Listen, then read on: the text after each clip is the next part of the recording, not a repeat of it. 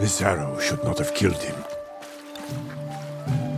Look, Uncle. There's a gash in his side. Not from an arrow.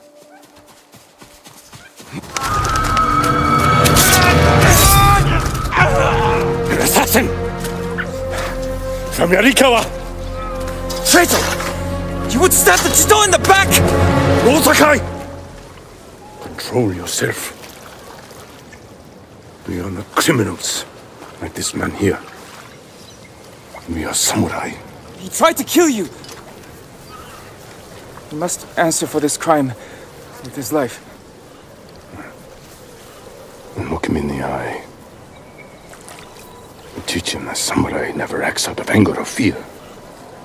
And take his life with honor.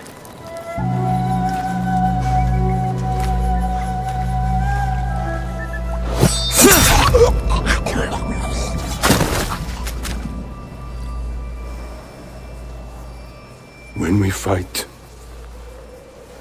we face our enemy head on. And when we take their life, we look them in the eye with courage and respect.